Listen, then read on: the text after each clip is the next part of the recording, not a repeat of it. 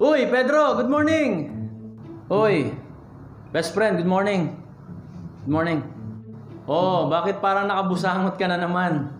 Kasi balita ko, Juan, extended na naman ng 15 days yung ECQ eh. Nakakabagot na sa bahay. Nakakainip. Para na nga akong mababaliw. Ay, di ko alam. Bakit naman ganun? Bakit naman kailangang i-extend pa nila? Pedro, easy ka lang. Maaaring may magandang dahilan ng ah, gobyerno kung bakit ginawa nila yon. Kaya easy ka lang. Relax. Eh kasi Juan, maraming walang trabaho. Maraming nagugutom.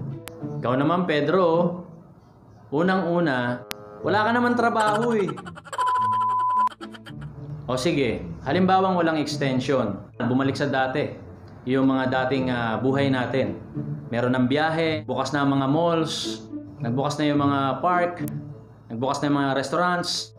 Ano sa tingin mo? Isipin mo mabuti, ano mangyayari? At nagbukas din yung mga pampublikong lugar. Maraming tao, crowded. Nagbukas yung mga simbahan, yung mga palengke. Bukas naman pala yung palengke.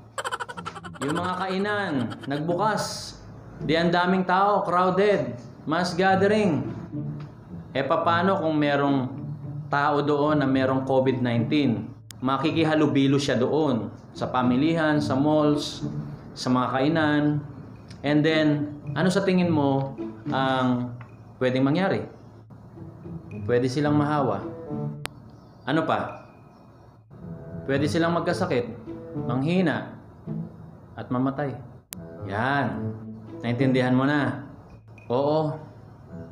Naunawaan ko na. Ang dapat natin gawin, Pedro, matyaga tayo maghintay. Lawakan natin yung isipan natin. At lagi tayo magdasal na matapos na to. Lagi tayo magdasal at magtiwala sa Lord na protektahan niya tayo, na hindi tayo mahawa sa virus na to at malagpasan natin itong lahat. Maraming salamat, Juan, ha. Best friend talaga kita. O sige, alis na ako. Bye-bye. O teka, teka, saan ka pupunta?